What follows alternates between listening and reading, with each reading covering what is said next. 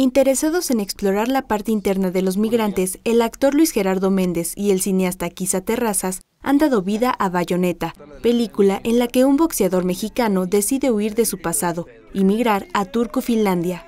Siempre quisimos que fuera así, que fuera una película eh, poco común, en donde tuviéramos esta conjunción de, realidades diversas.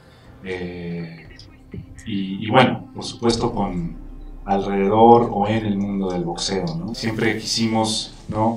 que el personaje estuviera lejos de todo lo que conociera, pero en vez de situarla en Estados Unidos, que tal vez hubiera sido el lugar natural, pues nos fuimos a Finlandia, ¿no? A mí es un tema este de la extranjería, de, de, la, de la, migración, de, vivir en las sombras, del, eh, digamos, este, eh, extraerte de tus raíces y tal. Bueno, es un tema que, que, me, que siempre me ha interesado. A mí me parece que lo que explora y lo que trata de hacer es poner al espectador en el viaje de Miguel, ¿no? De alguna manera que tengas, creo que es una película como muy sensorial, ¿no? Donde puedes darte una idea de lo que le está pasando a este personaje, ¿no? De, dónde, de estos lugares en donde está, de estos sonidos que escucha, de estos personajes que conoce, donde nunca termina de sentirse en casa, ¿no?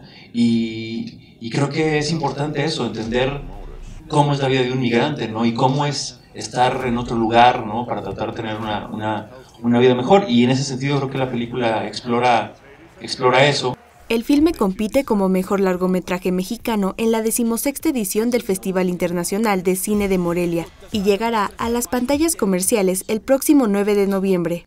Con información de Maricruz González e imágenes de Eric Gómez enviados, Notimex.